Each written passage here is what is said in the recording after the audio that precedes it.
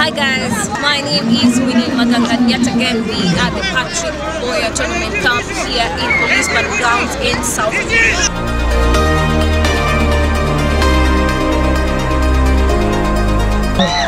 Hey, msikilizaji Eh, nikizidi kuwapa habari za Mozartbet. Eh, wanapata bao lao la kwanza vijana wa Susa, wanapata tournament imekuwa vipi? Tournament imekuwa poa e, tulianza low lakini tano tumekuwa poa, mwona mafanzo wamejaa. So far tumefika quarters, next week tutakuwa semi na tunaomba watu wakamu support bado. Hizo ndio sasa game crucial zimebaki. Eh, muda wote kuanzia sasa refari atakuwa anahitimisha kipindi cha kwanza. Majina naitwa Bruno Tieno, South B wananiita Mako Tieno. Mi ni fan wa bola hapa South B na nimebambika sana na Itona tona kwa sababu Nitona inakuza talent. Patrick Oboya Cup, unajua kwanza, huyu ni mchezaji wetu hapa mtaa, ni legend, ameamua kuleta ku bring back to the community.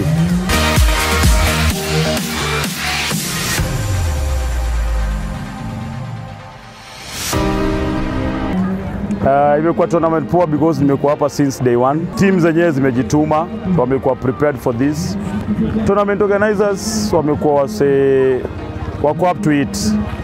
Bidii yao imekuwa poa, venye wana relate na mateam, venye wanasaidia mafans.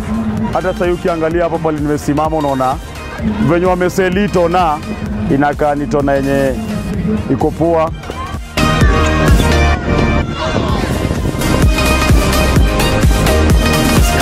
Na appreciate sana kwa, the organizers kwanza top notch Mozart ile komiti ilikaa chini juu ya hii tournament na kila mtu mwenye kwa different department amecheza kazi yake vizuri kuhakikisha that everything imekuwa poa. As we head to the semi finals hapa mtaani South B najua watu wanapenda bola, just call upon mafans wote wa mpira South B, come come cheer your team, come enjoy football, come be entertained, na niko sure ile weekend yote utakuja kuspend hapo ukiona hii tona, hautaboeka.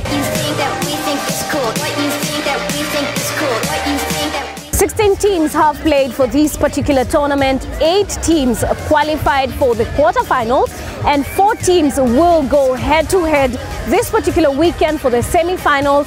And we wish all the team all the best.